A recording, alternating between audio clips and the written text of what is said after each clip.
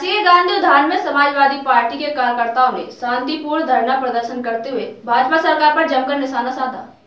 कचहरी चौरा स्थित गांधी उद्यान में सपाहियों ने महँगाई के विरोध में धरना प्रदर्शन किया, जिसमें उन्होंने सरकार की नीतियों को फैल बताते हुए कहा कि सरकार ने समाजवादी की जन कल्याणकारी योजनाओं को बंद कर जनता को परेशान किया है। वहीं देश में महँगाई इतनी बढ़ गई है कि सभी त्रस्त हैं। उन्होंने बताया कि राष्ट्रीय स्तर पर उनका सरकार के खिलाफ यह धरना प्रदर्शन किया जा रहा है। देश की और प्रदेश की जो सरकार है, वो सरकार ने जितने वादे किए थे, वो एक भी वादा पूरा नहीं किया है। और डीजल, पेट्रोल की, रसोई गैस की कीमत दिन पर दिन बढ़ती जा रही है। जब से भारत स्वतंत्र हुआ है, तब से आज तक डीजल, पेट्रोल गैस में इतनी बढ़ोतरी कभी नहीं हुई है। जो योजना चलाई गई थी किसी सारी योजनाओं को बंद कर दिया गया है। न्यूज़ वीके के लिए अरवर दानिश के साथ मनीष अली की रिपोर्ट।